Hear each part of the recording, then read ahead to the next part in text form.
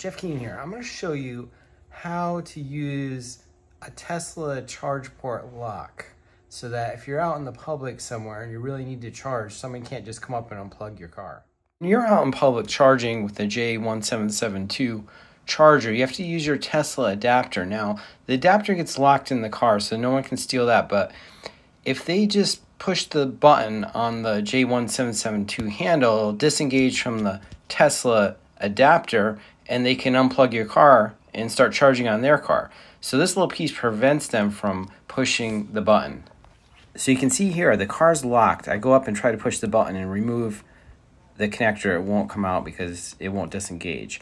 Now, I 3D printed out this lock uh, from Thingiverse, but if you don't have a 3D printer, you can also buy from Amazon. I'll put both of those links below. There you go. Remember to like and subscribe for more help with Tesla, Wi-Fi, and tech products.